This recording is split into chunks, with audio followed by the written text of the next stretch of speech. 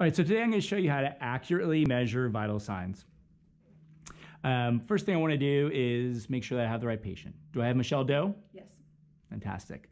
I'm going to then explain the procedure, which is going to be, going to be measuring your vital signs, and that's going to include measuring your respiratory rate. I'm going to measure your pulse rate.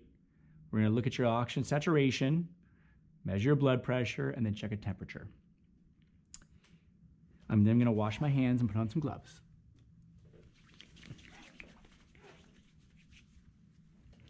We're going to start out with measuring the respiratory rate. Um, I'm going to ask the patient to place their hand on the uh, desk, just like such, and I'm actually going to be putting my hand on their wrist as if I'm measuring their pulse, and that's just to kind of distract them so they're not too focused on their um, breathing. And then I'm going to um, measure the number of times the chest rises and falls over 30 seconds.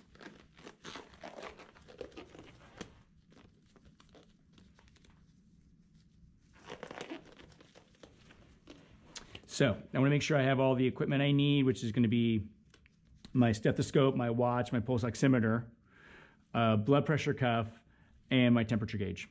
And now I'm just going to ask you to flip your wrist over there, and I'm going to put my hands on your wrist.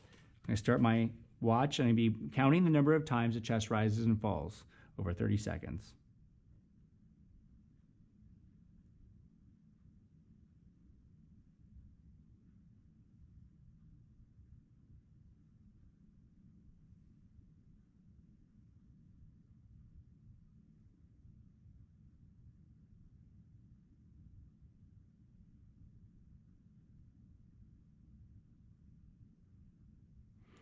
So there's 30 seconds. I counted seven breaths. So seven times two is 14 breaths per minute, or the chest was rising and falling seven times over 30 seconds, 14 breaths per minute. Next thing I'm to do is I'm going to measure uh, the pulse rate. And the way I'm going to do that is by also feeling the radial pulse. I'm going to use two fingers over the radial pulse, which is right here. I'm to wait until I find the pulse. Good. I'm going to measure for 30 seconds. So I'm counting the number of beats over 30 seconds. I'm now going to start that.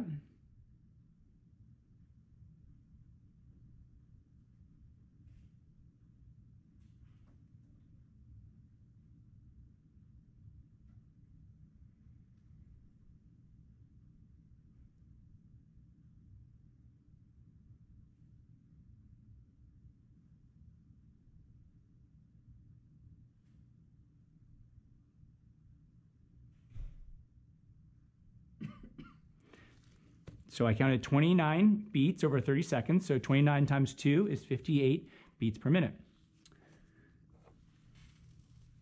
Now we're going to measure the oxygen saturation. So I have my oxygen saturation monitor here. I'm going to put that on the finger, start it.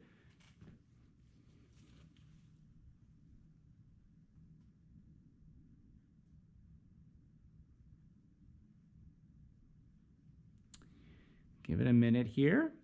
So it says here the oxygen saturation is 99%, and her pulse rate is 57, about 57 beats per minute. So very close to what I said.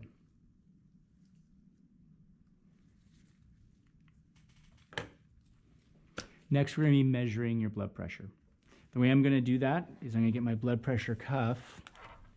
I'm going to place this on your upper arm.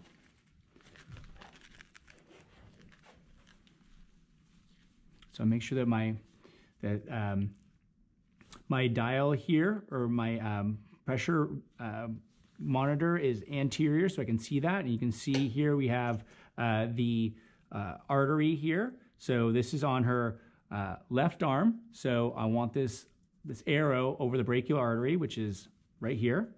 I'm now gonna make sure I have the right size cuffs to make sure that the um, the indicator is within range, which it is, and then I'm going to place this on. I'm going to put this at put your arm at heart level. Fantastic, good. I'm going to place a stethoscope in my ear. And I'm going to place the uh, diaphragm right over the brachial artery in what's called the antecubital fossa. I'm going to close the uh, dial or the bladder dial by turning it all the way clockwise. Now I'm going to inflate the cuff by squeezing the, the bulb. I'm going to inflate it to about 180. I'm going to slowly turn the dial a little counterclockwise to release the pressure. And I'll be listening for the Korotkoff sounds when they start and when they stop.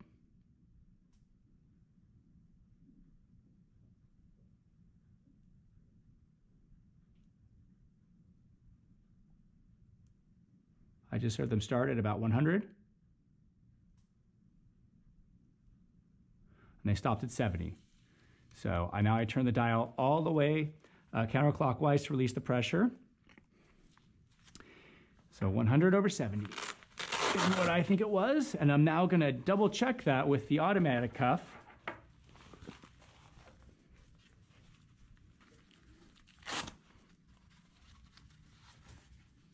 Put your arm through there. Perfect. Good. Tighten this down. I want this to be in the front. Good. All right.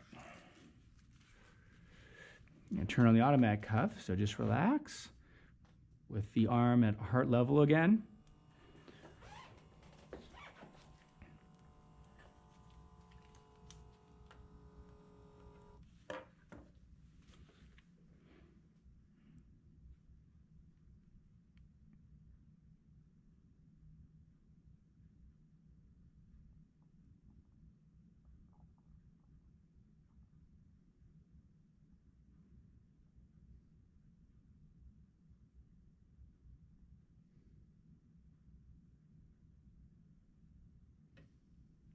104 over 69. Good. I'm now going to remove this from your arm, and we'll last thing we'll do is take your temperature. Sorry, it's a little tight here. All right. So we're going to take an oral temperature. I'm going to remove the uh, temperature probe and stick a probe cover on it. Now I'm going to ask you to place this under your tongue and hold it there. Fantastic.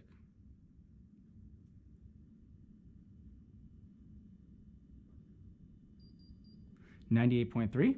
Thank you very much. And finally, what I'm going to do is remove my gloves and wash my hands.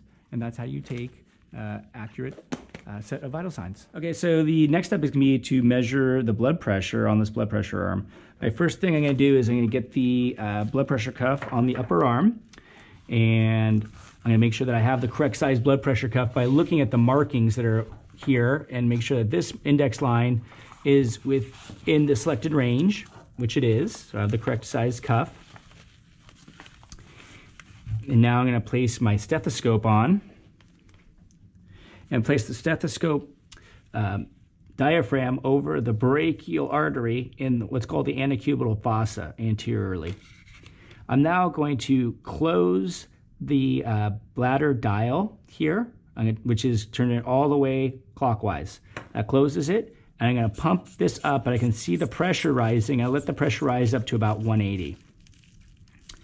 Once it hits 180, I'm gonna turn the uh, bladder dial a little bit counterclockwise just to let out some of the pressure, and I'm gonna listen for the Korotkoff sounds as it goes down.